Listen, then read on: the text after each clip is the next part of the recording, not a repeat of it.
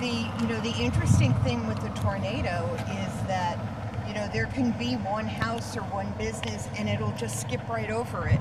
Greensboro Mayor Nancy Vaughan calls it Ground Zero, Apache Street between Banner Avenue and English Street. This is what it looks like a year after a deadly EF2 tornado swept through the eastern part of the city.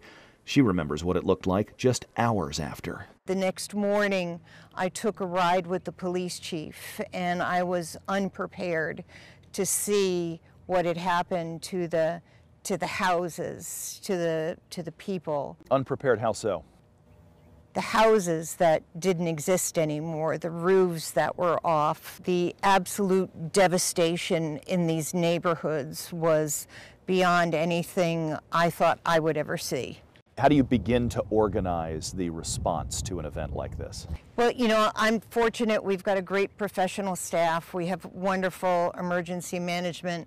But, you know, I'm thinking, you know, what are we going to do? How are we going to get people shelter? How are we going to get them food? Was that the top priority at the time? Yes, just to make sure that the people who no longer had homes, that they were going to have shelter, that we knew that some people were going to need shelter for the long haul. One of the scariest pictures that I think all of us, especially we as parents, took away were the trailers of Hampton Elementary School. And we all thank God that this happened on a Sunday, late Sunday afternoon, because those trailers were reduced to nothing.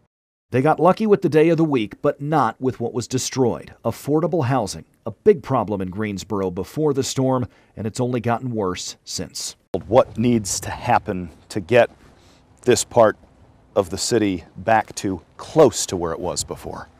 You know, it's going to take money. Vaughan says she's asked the state legislature for a million dollars in seed money. If she gets it, she'll be grateful, but it will only go so far. Many people who used to live or rent on Apache didn't have insurance or can't afford another monthly bill to pay back a FEMA loan, so they moved away. Still, she remains optimistic. We see a glimmer of hope with a house that's being built across the street.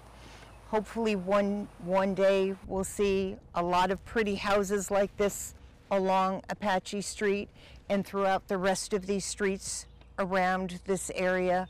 Um, it's not going to be an easy fix, but the city is in here for the long haul, and I hope that they will be too.